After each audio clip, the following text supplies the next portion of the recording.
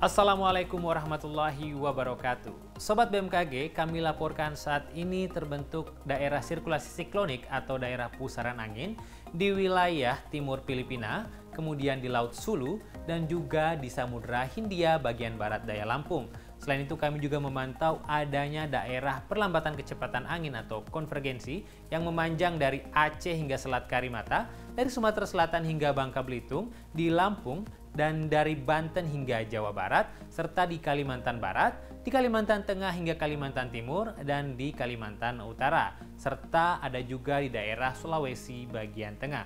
Kami juga memantau adanya daerah pertemuan angin yang terbentuk di wilayah Selat Karimata, di wilayah Laut Jawa, di wilayah Laut Sulawesi, di Sulawesi bagian utara, di Maluku Utara, dan juga di Samudra Pasifik bagian utara. Kondisi-kondisi tersebut mampu meningkatkan potensi pertumbuhan awan-awan hujan terutama di sekitar wilayah sirkulasi siklonik, wilayah konvergensi dan juga konfluensi.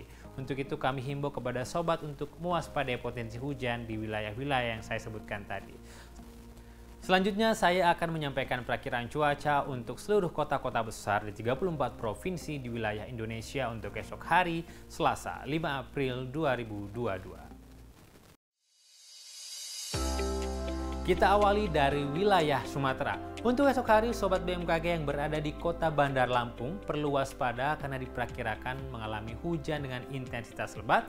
Sementara itu, untuk kota Banda Aceh, Pekanbaru, Tanjung Pinang, dan juga Pangkal Pinang, esok hari diperkirakan mengalami hujan dengan intensitas ringan. Sementara untuk kota Medan dan juga kota Bengkulu diperkirakan berawan. Dan untuk kota Padang diperkirakan cerah berawan, sementara itu untuk kota Jambi dan juga kota Palembang diperkirakan berkabut. Kita beralih ke wilayah Jawa. Untuk esok hari, Sobat BMKG yang berada di kota Bandung dan juga Yogyakarta, harap waspada karena diperkirakan mengalami hujan disertai petir. Sementara itu untuk kota Serang, esok hari diperkirakan hujan dengan intensitas sedang. Dan untuk kota Surabaya diperkirakan hujan dengan intensitas ringan. Sementara itu untuk kota Semarang dan juga DKI Jakarta diperkirakan berawan. Kita berpindah ke wilayah Kalimantan. Untuk esok hari, Sobat BMKG yang berada di wilayah kota Tanjung Selor perlu waspada karena diperkirakan hujan disertai petir. Sementara itu untuk wilayah Pontianak diperkirakan hujan dengan intensitas sedang dan kota Palangkaraya, Banjarmasin dan juga Samarinda diperkirakan hujan dengan intensitas ringan. Selanjutnya kita ke wilayah Bali dan Nusa Tenggara. Untuk esok hari, kota Mataram diperkirakan hujan dengan intensitas ringan, sementara itu untuk kota Denpasar diperkirakan berawan, dan yang terakhir untuk wilayah kota Kupang diperkirakan cerah berawan. Selanjutnya kita ke wilayah Sulawesi. Untuk esok hari, kota Gorontalo dan juga kota Mamuju diperkirakan hujan dengan intensitas sedang, sementara itu untuk kota Palu diperkirakan hujan dengan intensitas ringan. Dan untuk kota Manado, Kendari dan juga Makassar diperkirakan berawan. Yang terakhir kita ke wilayah Indonesia Timur.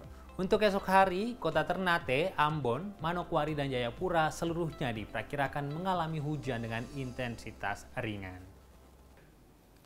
Itulah tadi perakiraan cuaca untuk seluruh kota besar di 34 provinsi di wilayah Indonesia.